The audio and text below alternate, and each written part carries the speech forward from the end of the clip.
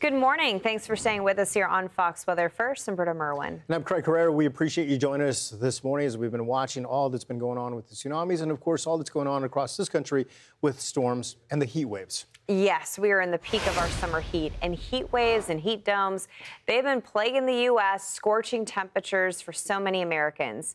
Uh, people, they tend to overcompensate water consumption mm-hmm. when the heat starts to wear them down but this could actually lead to an unexpected problem. It's a conversation I've been wanting to have, and Dr. Jen Caudle joins us now, the Associate Professor of Family Physician at Rowan University.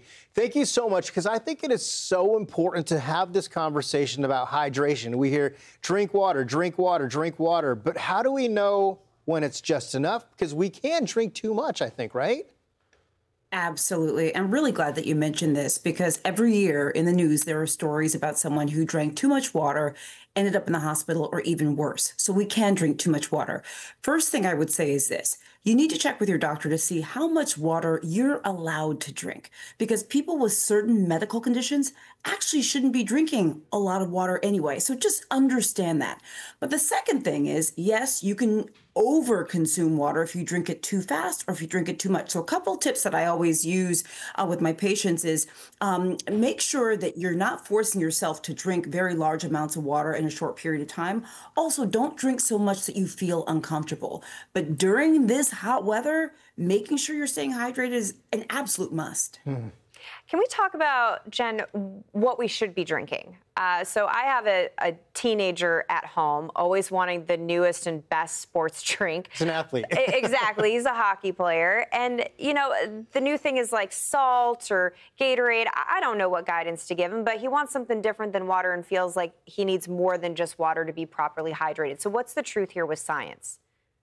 So it really depends on who you are. What I would mm. say is for people who are very active, athletes and things like that, oftentimes electrolyte solutions really are the way to go. And because I don't know your child, it's definitely appropriate to talk to his pediatrician. Um, but for the rest of us who maybe aren't super active or athletic, you know, water tends to be the best. You just need to be thoughtful and careful about it. This is what I would say though. You want to avoid overly sugary drinks and this is for all of us. We don't want to drink overly sugary drinks. A caffeinated drinks, soda, tea, things like that actually can be more dehydrating. Also, stay away from the alcohol during this period of time because that's also dehydrated, can really make things worse. Question for you. So coffee obviously uses water, but it's caffeine. Is it still working for us, do you think? Well, there's going to be some water in it. And I don't think it's wrong to have your normal cup of coffee during mm. this time during this heat wave. Um, but that shouldn't be our sole source of hydration, right. really, ever, whether we're in a heat wave or not. And let me just also bring us back to the real point here, right? We're talking about hydration, which is appropriate.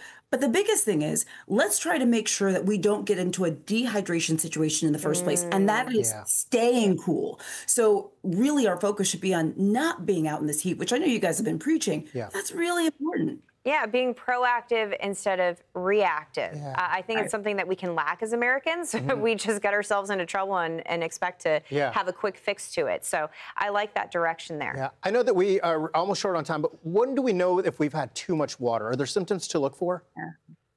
So too much water. Uh, honestly, so I mentioned there can be water intoxication. Um, you can overconsume water. This is what I would say because the symptoms can range. And and let me just remind us that overconsuming water. I send at least one patient to the hospital every year. Mm. What happens is the water actually dilutes the electrolytes in our blood, can cause uh, our sodium to become very low. It can be dangerous, even deadly. Mm. The point being is, look, if you don't feel well, you need to get checked out. Yeah. The same thing goes for the heat, right? Listen to your body. Um, so the symptoms can range, but rather than listing them, just think, hey, h- how am I doing?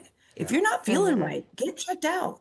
Yeah, You're do that self check. Such yeah. an awesome conversation. Yeah, thank you. Thank you so much. We've been trying to get this information out, so really great to hear your insight. Mm-hmm. Dr. Jen, thank you so much for joining yeah, us here on Fox it. Weather.